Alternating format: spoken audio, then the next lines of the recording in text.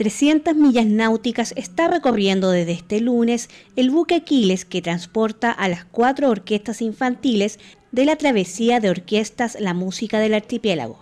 La iniciativa es un programa del sello regional 2011-2013 del Consejo de la Cultura y las Artes de Aysén que tiene como objetivo difundir la música y el trabajo de las orquestas infantiles y juveniles de la región. El primer concierto que ofreció la travesía se realizó en la Catedral de Puerto Aysén, con un poco más de 500 personas, entre padres de los pequeños músicos, invitados especiales y público en general, quienes repletaron el templo religioso que de esta forma se convirtió en el hito inicial de una travesía que llevará su música hasta Puerto Aguirre, Puerto Cisnes, Puerto Gala, Melinca y Castro. La intendenta Pilar Cuevas valoró la iniciativa. Yo creo que la gente de las localidades del litoral nos está esperando con mucha ilusión. Puerto Aguirre, Caleta Andrade, Esterocopa, Cisnes, Gala, Gaviota, Melinca, hasta llegar a Castro, 300 millas náuticas.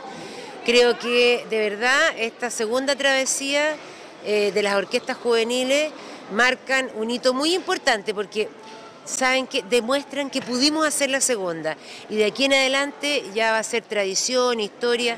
Contamos con el apoyo de la primera dama, que es quien preside las orquestas juveniles de todo Chile, Cecilia Morel, el presidente también, el Consejo Regional. Por lo tanto, ya queda instalado un tema que para nosotros era un sueño. Tres orquestas de la región de Aysén y una cuarta invitada forman parte de esta gira se trata de la Orquesta Sinfónica Municipal de Coyhaique, la Orquesta Rivera Sur de Puerto Aysén y la Orquesta Escuela Guido Gómez Muñoz de Puerto Cisnes. A ella se suma la Orquesta Juvenil e Infantil de Cauquenes. Su director y uno de sus integrantes se refieren a esta iniciativa.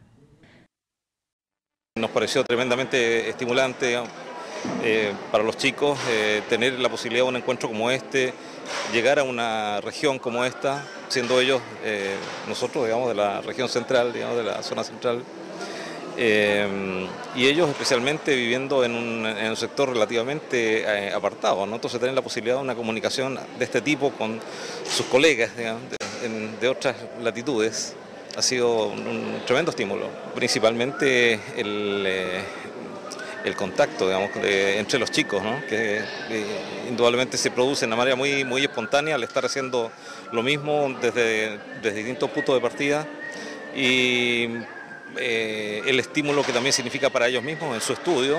Una, eh, esto es un gran premio, digamos, de, un viaje de este tipo. Eh, me parece una experiencia súper bonita porque podemos conocer gente nueva, conocer paisajes nuevos.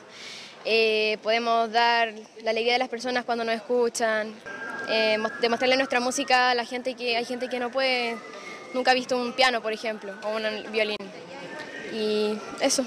La segunda versión de esta travesía marítima se efectúa a bordo del buque Aquiles de la Armada de Chile, que trasladará a 130 jóvenes músicos, directores de orquesta, padres y apoderados, autoridades, medios de prensa y equipos de producción del Consejo de la Cultura y las Artes.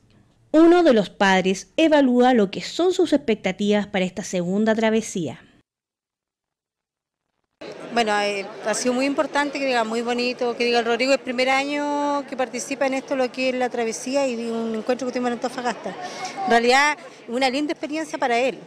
Y uno como más, bueno, apoyarlo en, en lo que se viene más adelante y en esto, porque ojalá siga en lo que él quiere, ser grande en esto.